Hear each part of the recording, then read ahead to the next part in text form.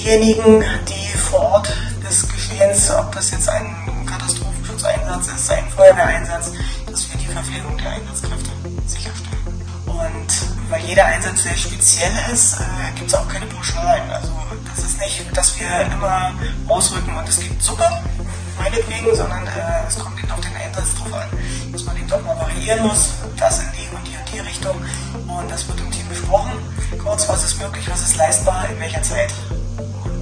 Man sich das im Prinzip vorstellen, äh, wofür es unsere Einheit halt gibt.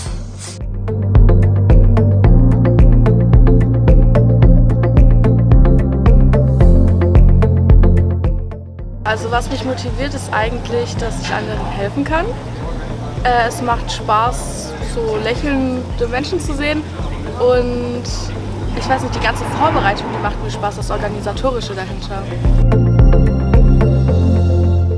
Wir sind dazu gekommen, wie gesagt, ne, äh, vor jetzt 13 Jahren, 14 Jahren und ähm,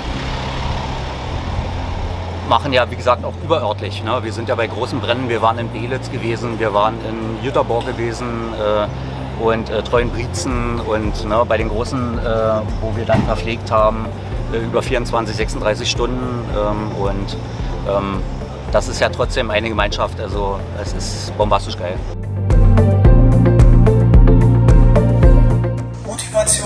Muss sein, Ehrlichkeit auf jeden Fall äh, und auch dieses miteinander arbeiten können, auch mal Kritik einstecken, auch Stresssituationen bewältigen können und äh, zusammen dann alles aufräumen und dann ist der Laden wieder in Ordnung. Also das ist ähm, doch relativ familiär, das ganze Gerät. Sagen wir ganz einfach, einfach mal vorbeikommen, reinschnuppern, gucken, was die SEG macht, sich das angucken, wenn es ihm dann gefällt, kann er ruhig mitmachen, wenn er möchte.